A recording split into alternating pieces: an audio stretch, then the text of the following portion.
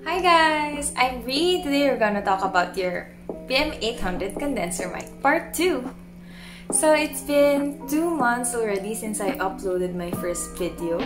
Surprisingly, I've been getting a lot of views lately on that video and a lot have been commenting also on how the tutorial helped them and a lot have been commenting also about their issues and how to help them. And of course, I reply to each and every one of them so that I can help you out with your issues. Sometimes it also feels like I'm already a customer representative for BM800 microphone, but actually I'm not.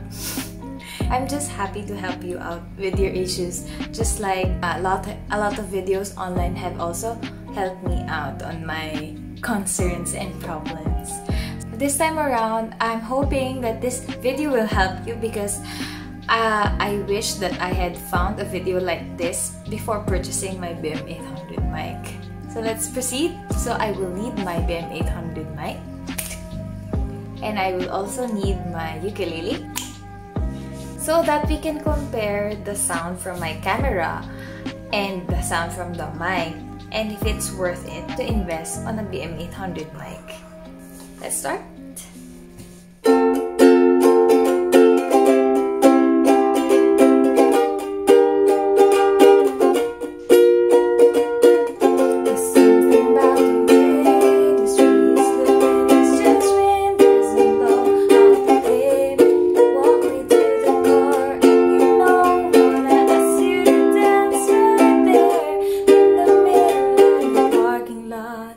Yeah.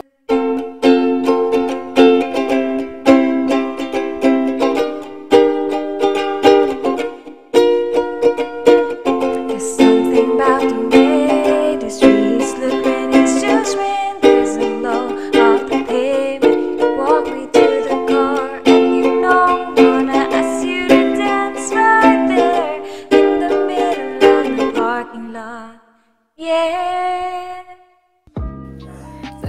guys, yun yung sample number 1.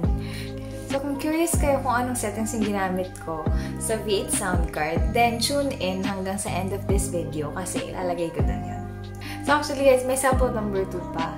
Maraming curious dyan kung anong difference nga ba kapag nagkaroon ka ng phantom power along with the V8 sound card. So, papakita ko na rin sa inyo para wala na kayong kahirap-hirap. So, gamitin natin yung same song and same sound card settings for this sample number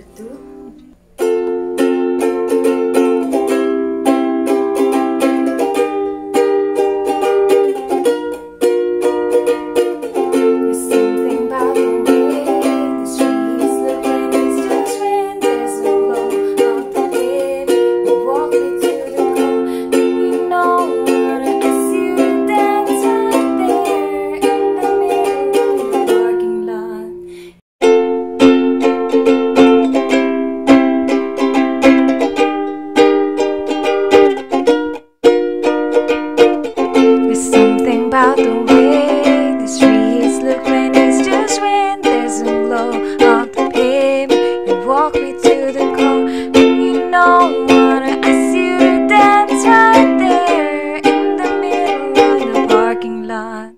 Yeah. Oh yeah.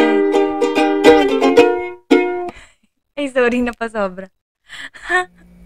So, yun guys, yung sample number 2. So, mapapansin nyo, sobrang linaw talaga pag meron yung phantom power. And I think, it also helps na pinapower niya yung device kasi hindi siya, napansin ko kasi sa V8 sound card lang, parang may wave siya. Minsan malakas, minsan hihina, minsan lalakas.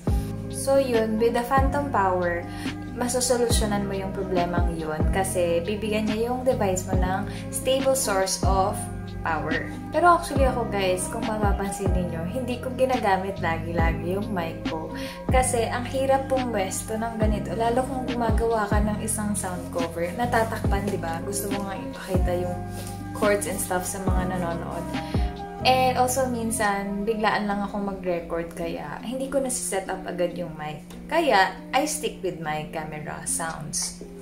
Pero through this video, nalaman ko na na mas maganda pala talaga kapag naka-phantom power ka and naka-V8 sound card ka with your BM800 condenser mic. So yun, buti lang ginawa ko tong video na to kasi nalaman ko yun. So yun guys, thank you sa pakikinig. Ito nga pala yung sound settings as promised. So meron kang max yung mic and then mga 20% ng echo. Medyo random na lang yun eh. Pero you can check this. Baliktad yata siya kasi naka... So yun, I hope this video helps you. Please like and share this video if it did. And subscribe to my channel for more videos on recording in BM800 mic and also anything you can comment down below kung meron kayong suggestions. Yun lang guys, hanggang sa muli. Thank you!